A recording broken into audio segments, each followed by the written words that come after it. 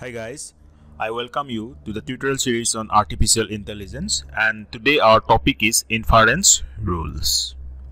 And you know in the previous lecture we have gone through one important topic that uh, that is predicate logic and I am giving the link in the description below. So you go through it if you have not already and watch this video till the end because one question will be asked at the end and that will be very important for you.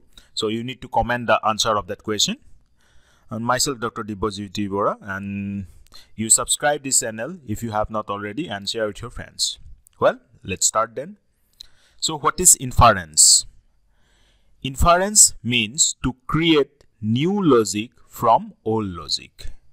That is, generating the conclusions from evidence and facts is known as inference. Just remember that when we go for deriving a new logic from all existent logics, then that is known as inference. Okay, so what is inference rule? Inference rules are applied to derive proofs in artificial intelligence and this proof is a sequence of the conclusion that leads to the desired goal. And we use connectives in these rules.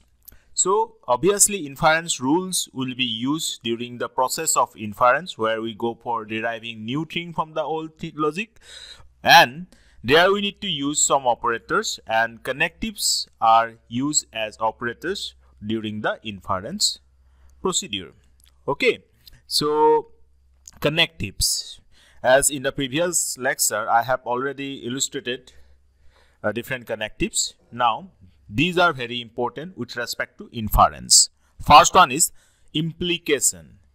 You know implication is P implies Q and the truth values or I can say the truth table with respect to implication is also important. So I suggest that the previous lecture go through it and the link you will find in the description as I have already said. So that will help you to understand these things. Okay, so implication means P implies Q. Then converse. Converse of implications means the right hand side proposition goes to the left hand side and vice versa. So right hand side goes to the left hand side. In this implication, P implies Q. Which one is the right hand side? Right hand side is this one. So this will come here and this will come here. That is Q implies P. So converse of P implies Q is Q implies P. Then contrapositive. The negation of converse is termed as contrapositive. Negation of converse. So negation of Q implies negation of P. Okay, this is contrapositive. Negation of Q implies negation of P. Then inverse. The negation of implication is called inverse. So, implications negative, not contra, uh, converse negative. So, implications negation will be negation of P implies negation of Q. Okay. So you may confuse with this contrapositive and in, inverse. Contrapositive is the negation of converse and inverse is the negation of implication. Okay. So now types of inference rules.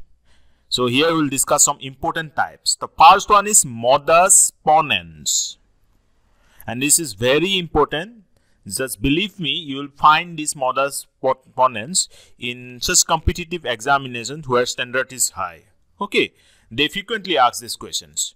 So modus ponens rule states that if P and P implies Q is true, then we can infer that Q will also be true. And it will be written like this. You can take a screenshot of this. P implies Q, comma, P divided by therefore Q. This means P and Q, P plus Q is happening with P. That is P implies Q is true and P is also true. This implies Q. Clear? Now I am giving an example that will be more clear to you. So first statement is if I am hungry then I go to restaurant. Say this is P implies Q. So I am hungry is P, P here and I go to restaurant is Q here. So second statement is what? I am hungry say P. So P implies Q and P. they are coming together. So conclusion will be what? I go to the restaurant. As if I am hungry, then I go to the restaurant. So I am hungry is given. So this implies I go to restaurant. So I go to restaurant is our Q.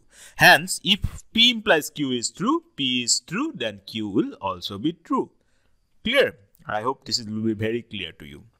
Now, next one is modus tollens. This states that if P implies Q is true and negation of Q is true, then negation of P will also be true. That is P implies Q, comma negation of Q and divided by negation of P. Okay, don't confuse this, this symbol. We use both this symbol or this styled symbol. Both of them actually represent the same thing that is negation. Clear? So considering the same example, if I am hungry, then I go to restaurant. P implies Q. So negation of Q is given, isn't it? That is, I did not go to restaurant or I do not go to restaurant. That is negation of Q. So what will imply? If I do not go to the restaurant, this obvious that I am not hungry. So conclusion will be I am not hungry. So you see that when P implies Q and negation of Q is given, we have found that negation of P as the conclusion. That is modus tollens. So modus ponens and modus tollens are clear to you. Now coming to the next. Next is hypothetical syllogism. Well, that sound this sounds may complicated, but actually you have to remember these terms when you are dealing with artificial intelligence. So hypothetical syllogism states that whenever P implies Q is true and Q implies R is true, then P uh, implies R will be true. Okay. So, you know, say I am considering an example. First statement, if you attend my artificial intelligence lecture, then you will understand inference rules. Say this is P implies Q. Second statement, if you understand inference rules, then you can derive new statements from old ones. That is Q implies R. You can easily detect which one is P, which one is Q, and which one is R. So P is if you uh, you attend my artificial intelligence lecture. Q is you will understand inference rules, and R is you can derive new statements from old ones. So conclusion according to hypothetical syllogism will be if you attend my artificial intelligence lecture, then you can derive new statement from old ones. That is P implies R. I hope this example will make clear this concept about hypothetical syllogism to you. Okay, try to frame a new such example by yourself. That will help you, of course. Next, disjunctive syllogism. And this states that if P disjunction Q is true and negation of P is true, then Q will be true. So, P disjunction Q, negation of P divided by Q, this means this Q will be obvious then. As you know, P disjunction Q will be true when either P or Q will be true. If both or either, it is okay. So, negation of P is true Negation of P is true means what? P is false. So P is false as and P disjunction Q is true. So Q should be what? True. Then only you will get P disjunction Q is true. Okay. So from these two we can derive that Q is true. Got it? Now I am giving practical example now. Suppose first statement you are student or professional. Say this is P disjunction Q. Second statement, you are not student. That is negation of P. Conclusion, you are professional. Q. Why? Because you see, you are either student or professional. But it is given that you are not student. So it means what? You are professional. Then only P disjunction Q is true. Okay. So conclusion is Q according to the disjunctive syllogism. Well, I hope this concept is clear. If still ha you have doubt, then don't means uh, hesitate to ask me through a comment. I'll respond respond those comments. Okay. Now coming to the next addition. Uh, here addition is a little bit different. This rule states that if P is true, then P disjunction Q will be true. If you think deeply, then it is obvious. Say, see, P is true. So, P disjunction Q will be true always, whatever the value of Q is given. As you know, P disjunction Q will be true when either P or Q is true. It is not necessary that both of them should be true. Yeah, if both of them, P and Q are true, then always P disjunction Q will be true. But it is always true when at least one of them is true. As P is given true, so this value P disjunction Q is always be true. That is addition. Clear? Now, coming to an example of addition, say you are a student, the previous example, that is P, and you are a professional, Q. Okay, so conclusion will be what? You are a student or professional, P disjunction Q. Suppose if it is given that you are a student P, but you are not a professional. Okay, what you can conclude? Comment your answer. Okay, then simplification. This rule states that if P conjunction Q is true, then Q or P, P will be also be true. That is P conjunction Q. This is given as true. So of course, if P conjunction Q is true, then both of them should be true. Then only you will get this value as true. So if P conjunction Q is true, then P is true and Q is true. What is this? Uh, simplification is about to derive Q and P when P in uh, conjunction Q is true. Okay, so I hope this is clear. P conjunction Q divided by Q or P conjunction Q divided by P. Clear? So after simplification, I am coming to a next one. This is also very important. This is resolution or resolution. Okay, the resolution rule states that if P disjunction Q and negation of P conjunction R is true, then Q disjunction R will also be true.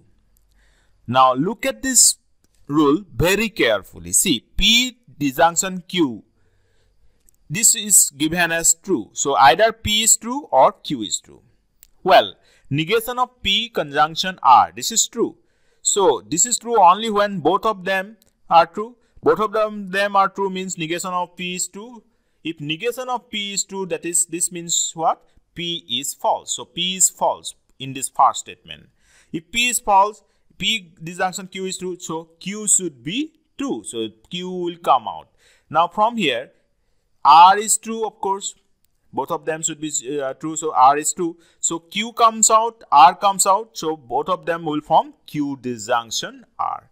So if P conjunction uh, disjunction Q and negation of P conjunction R is given, then we can infer Q disjunction R. Is this clear to you? You can take a screenshot of this very important rule. Okay. So I, we have covered all the imp important inference rules. Okay.